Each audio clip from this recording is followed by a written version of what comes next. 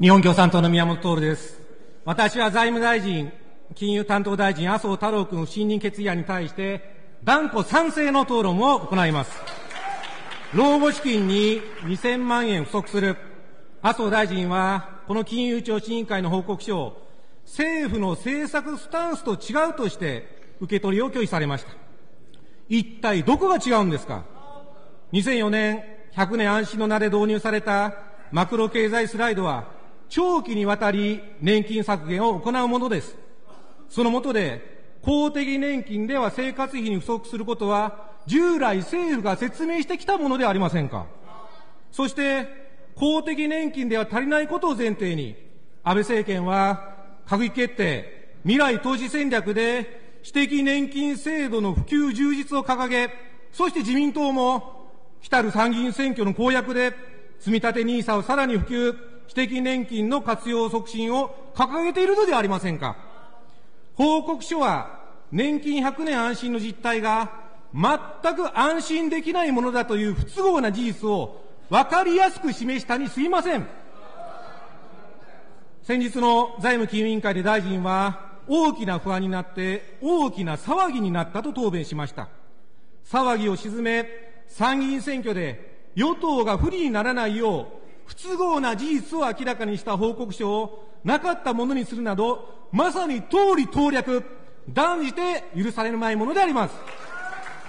その上、今月19日に提出された財政審の権威から、原案にあった将来世代の基礎年金給付水準が想定よりも低くなるなどの文言が削除されました。麻生大臣の報告書の受け取り拒否に辻褄を合わせて都合の悪い真実を次々に隠蔽していく森友問題と全く同じではありませんか。報告書の受け取りを拒否しても、国民の不安の大元にある貧困な年金制度、公的年金では生活費に不足し、年金は2割、基礎年金は3割が減額になる事実は何一つ変わりません。政治がやるべきは、貧困な年金制度の隠蔽ではなく、国民が普通に暮らせる、安心の年金制度を作るために真剣に議論をすべきなのではありませんか？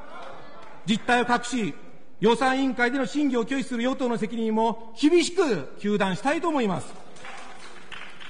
森友問題では、真相を隠蔽するために公文書改ざんが行われ、改ざんを強要された職員が自殺に追い込まれるという痛ましい事態が引き起こされました。麻生大臣は財務省の最高責任者として、その責任を取れないばかりか、その後も財務省と近畿財務局、大阪航空局とのやり取りの文書を隠蔽し続け、先日、情報公開個人情報保護審査会も違法と断じるに至りました。我が党の入手した内部資料では、財務省が会計検査院に報告書の記述の変更を求め、圧力をかけていたことも明らかとなっております。これだけの事態を引き起こしながら、権力にとって都合の悪い情報は隠蔽する体質が改まらない。麻生大臣は大臣として全く不適格であります。さらに大臣は消費税増税を強行しようとしております。内閣府の景気動向指数は2ヶ月連続で悪化です。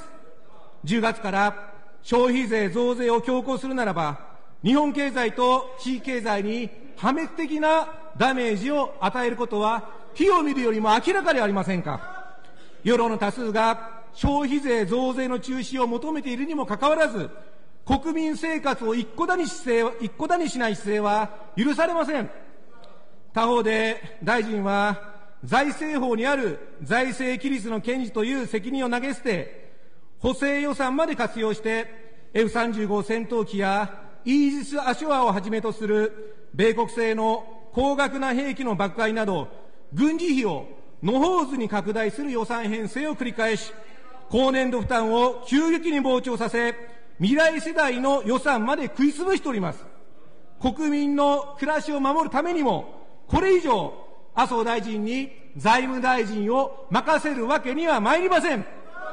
またさらに麻生大臣の数々の暴言と、5分ではとても指摘できないほどの不信任の理由があることを申し上げ、賛成討論とさせていただきます。ありがとうございました。